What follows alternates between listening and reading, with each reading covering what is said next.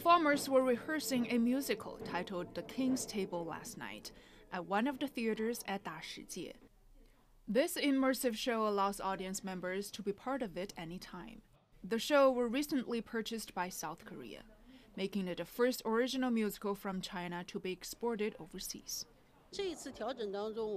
We are now shifting our strategies to attract more women that are 25 years old and younger who not only like to watch a show, but also want to be part of it on the stage and interact with performers. Shanghai Great World said more than 10,000 movies and performances will be shown over the next year in the facility's 20 cinemas and theater spaces. They expect to sell around 1 million tickets in that time.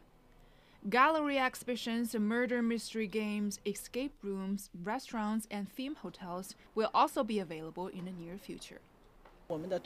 Intangible cultural heritage activities such as fine embroidery and jade carving will be maintained for families and seniors who have childhood memories of Dashijie, while the nights will belong to younger generations.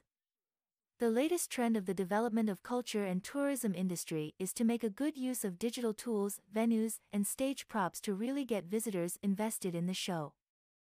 Opened in 1917, the entertainment site on North Xizang Road was the number one club of the Far East, with cinema and theater being its main attraction.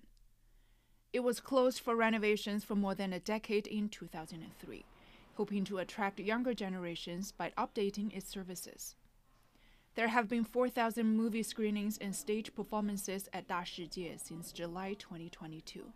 Dashijie said more than 90% of its audience members are in their 20s and 30s. 张悦，上海来福。